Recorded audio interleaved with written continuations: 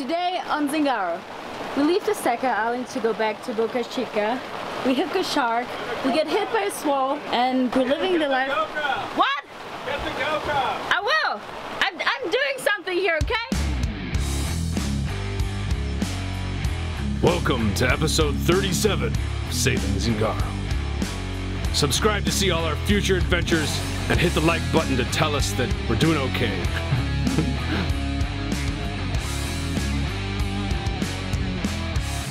So Cleveland and I are about to go spearfishing, right buddy? We're, we're leaving the girl here to edit. Thank you for doing that, babe. You're awesome. We're leaving her with this fish soup staring at her. Tell me that's not scary.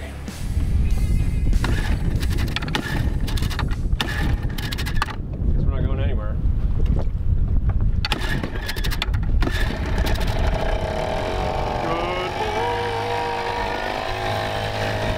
Finally.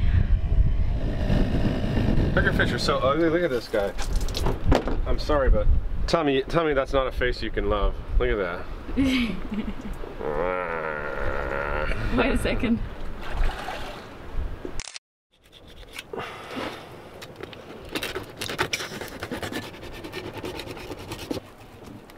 And this skin is really hard to, to cut through. That's why a lot of people don't like to spearfish them. And these are the scales. They're big. It's like freaking armor.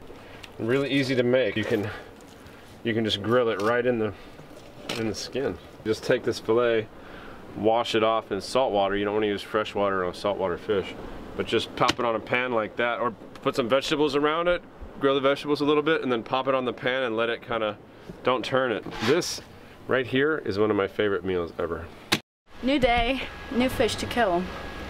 We're back in the game, spearfishing, because we don't have anything else to eat. Yeah, we got a big mahi on the way here, and then I got a trigger, a pompano, and a little chub fish. Today, I'm going for like maybe two big trigger fish and maybe a snapper or something, or an amberjack. One big triggerfish, one snapper. But I like that. We're gonna give one to Don. We're gonna get fillet one and give it to Don. So that's Don's fish. I'm hungry, man. We don't even have any food. We're, we have to fish.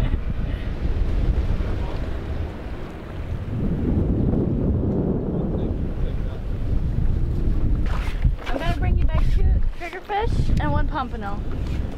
And so maybe something. No, that's like the only two fish I could recognize, to be honest.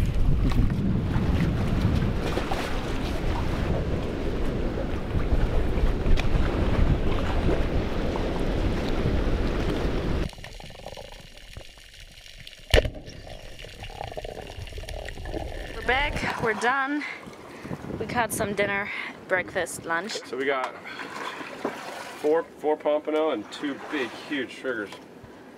This is the one you got. This is a huge fish, man. Look at it compared to the one I got. Aw, you're so sweet. Just shot 20 minutes ago. That's the little salt and pepper and flour. That's all she needs. That's gonna be a good piece right there. Mm-hmm. So we're done fishing. We're getting out of here because there's like there's a squall moving in. Also, we're way better off at the mooring at the beach. So that's where we're going now. The guys are getting the anchor up right now. And I think that's it for today. Tomorrow we're gonna sail the 20 miles back to Boca Chica. So let's hope we'll have some wind. Okay, that's good.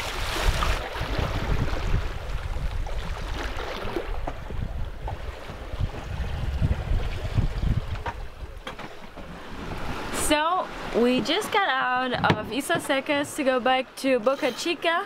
First of all, to provision. Last night we had to steal gnocchis from our neighbors because we were eating fish with fish for breakfast, for lunch. So we got some gnocchis for dinner. We're back in the fishing game. We're getting the headlands out right now. Also the professional fishing pole that doesn't catch us ever. What else is new? Oh yeah, we're gonna try to find Carlos. Carlos is apparently the owner of the marina in Boca Chica. And we just learned that they can haul out catamarans. Uh, so we're gonna try to get hauled out, work on the bottom, put the new epoxy copper paint on there. So we can go from here directly to Hawaii. That's the new plan, by the way. Yeah, we're going to Hawaii. Cause no one's gonna find me, cause I'm leaving. Really, it should only be used from like 90 degrees to about 160. But if we pull it way around to the other hull, we can almost go straight downwind with it. James, Yeah. one question I have. How is it possible that every time you brush your teeth, there's toothpaste? Every time.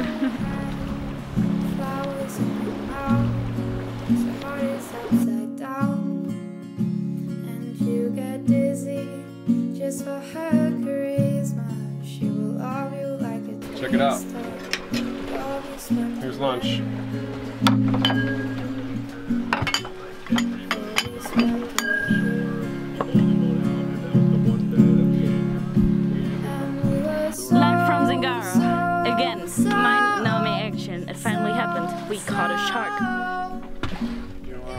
I'm gonna go and save distance from this whole maneuver.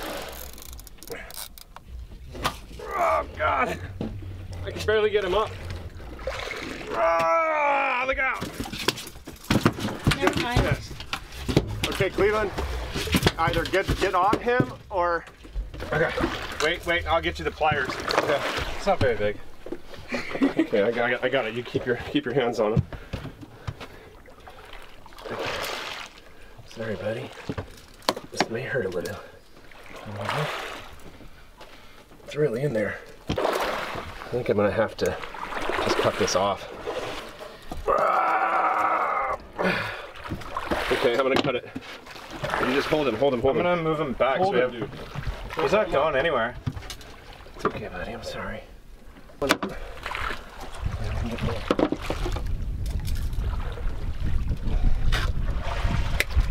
I'm sorry, bud. Okay, here we go. Okay, how are we getting in? You got his. I got his belly. You got it? Yeah, I got it. Whoa, and he's gone. Hey, we saved the thing too. Except I clipped it. We're gonna need a new one of these, but poor guy. That was the first time. Hey, and there's wind again now. Yeah. Oh, it's filling in from the storm.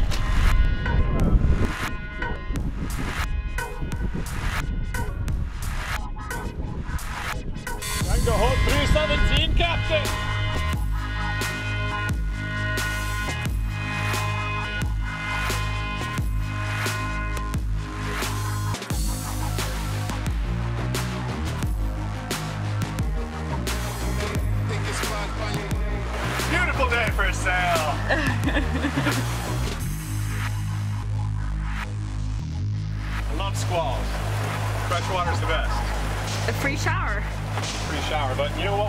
Do is put the gennaker away. We're gonna have to haul that up and dry it out when we get back.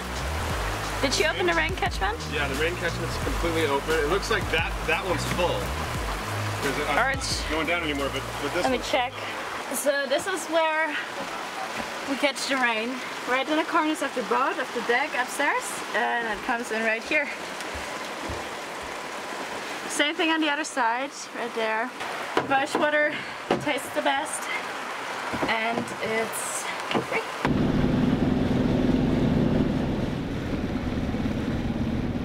It's a double rainbow all the way.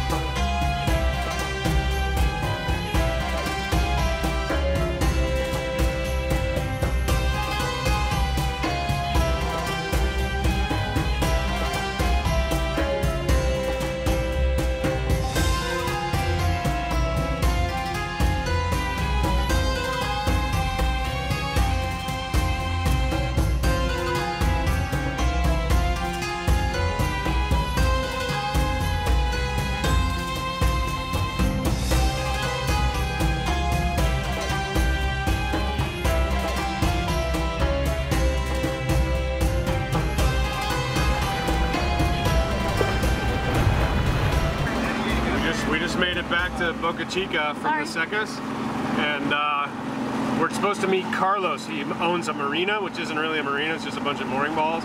But he's apparently got a Gemini that he hauled out because someone left it there too long, and he's got a trailer he made for that. And I'm wondering if it's close to this, we might be able to modify it to get it get it up. He's got two tra two tractors and a trailer, and we might be able to get this boat out of the water.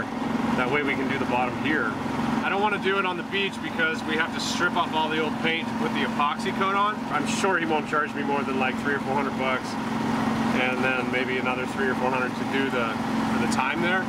So if we can get this thing hauled out and painted for a thousand dollars, we won't ever have to paint it again. Long-term plans are to replace all the rest of the rig because I got to roll a Dyneema this time when, when I went home, and then epoxy the bottom.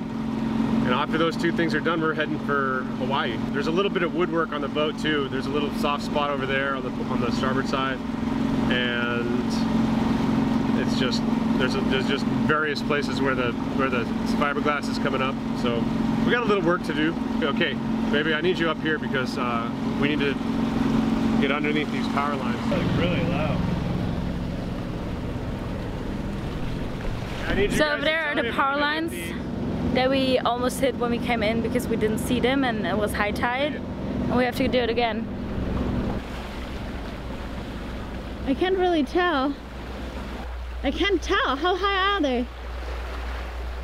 I think we're good. Oh my god. Are You sure? Yeah.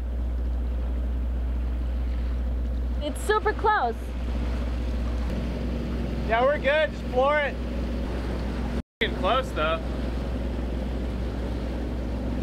Jesus. Damn. Maybe like a foot. I'm surprised we made it through in high tide, man. Not Yeah, I mean, how did you make it through at high tide? Because There's got to be like six feet lower right now. I don't think it's as close as you think. Yeah, maybe not. It looked very close. I mean, maybe next time we'll climb up the mast to, you know, make sure. yeah, Yeah, that's smart. not a Make bad a idea. PVC pole, just hook it, hook it over.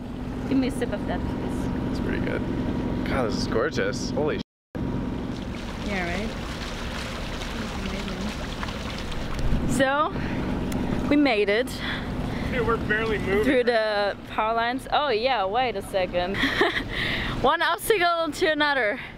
Like, we made it through the power lines and now there's a wicked current here. We're barely moving, look at this. Look what I just did to those bars. Let's try them. Red is me, obviously.